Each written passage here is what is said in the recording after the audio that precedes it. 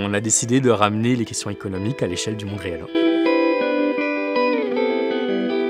Une monnaie complémentaire, c'est un outil, pas une finalité en soi déjà, et c'est un outil qui permet de relocaliser l'économie.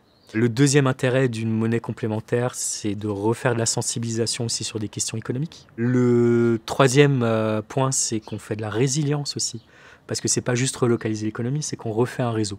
Et c'est extrêmement important. Un autre intérêt d'une monnaie complémentaire, c'est que euh, la monnaie circule dans un circuit euh, d'économie réelle. Et donc, quand vous dépensez un euro, déjà l'euro, il peut aller chez le commerçant d'à côté ou il peut aller à l'autre bout de la planète dans les enfers fiscaux.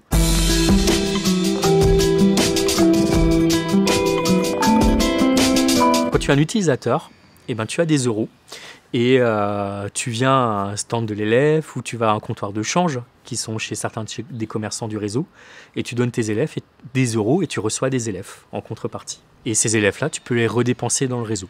Et donc c'est comme ça que ça marche. Et si tu en as, tu vas sortir du réseau et tu as encore des élèves, tu peux pas en tant qu'utilisateur, il faut que tu les dépenses.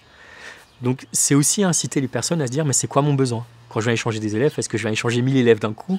Est-ce que j'en échange euh, que 10 Ou est-ce que j'en échange 20, 50, 100, peu importe Mais ça pousse l'utilisateur à réfléchir quel est son besoin.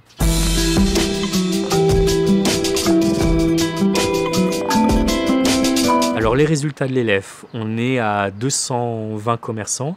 On en a un ou deux qui rentrent par semaine en moyenne. Et euh, on, a, on, eu, on a 1800 utilisateurs euh, différents recensés. On est victime de notre succès en réalité. Parce qu'on euh, est même un peu plus de bénévoles qu'au départ, mais on n'arrive plus à suivre le rythme. On a réimprimé des billets, parce qu'on avait imprimé 120 000 élèves, et puis on était arrivé en rupture de stock. Donc on a réimprimé 300 000 élèves. On va numériser la monnaie.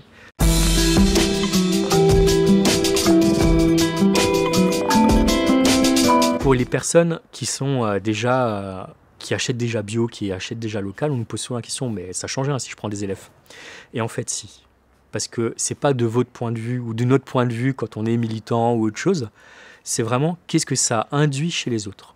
Moi, quand je paye chez un commerçant, je paye surtout pas comme ça en sortant mon billet je fais un grand geste théâtral, je sors mes billets. En général, il y a toujours deux personnes à côté qui disent C'est quoi ça? Donc j'ai déjà gagné. j'ai des élèves dans la poche.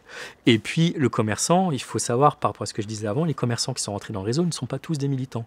Il y en a qui s'interrogent aussi, ou parce que le voisin est rentré, il, a, il est rentré dans le réseau. Ce n'était pas forcément les motivations que nous cherchions au départ. Mais il se prend un engagement aussi à dire bah, Je fais un peu mieux. Et en fait, chaque fois qu'on paye, nous, en tant qu'utilisateurs, avec des élèves, ça crée une forme d'encouragement aussi. Et ça, c'est bien perçu par les prestataires. Et moi, à titre personnel, je suis super heureux de ça. Quoi. Vraiment pas avoir un réseau fermé, mais se dire, peu importe le point de départ.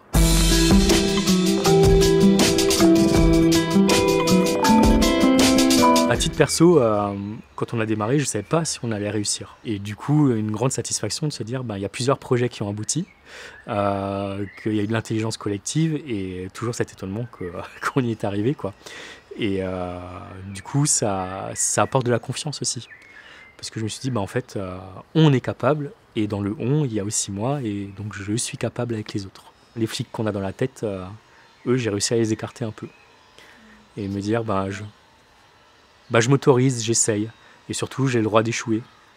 Et il y a un peu quelque chose autour des loges de la fausse note aussi. La fausse note, elle n'est pas grave. Elle appelle une belle note derrière.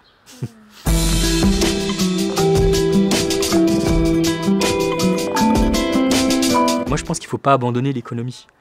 J'entends beaucoup dans mon entourage de personnes ou dans des réseaux associatifs en disant Ouais, mais l'économie c'est le mal, l'argent c'est le mal, il ne faut pas en parler.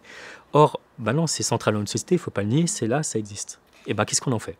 C'était plus ça qui m'a motivé, moi. L'économie n'est pas réservée à des banquiers ou à des gens qui ont fait des écoles de commerce.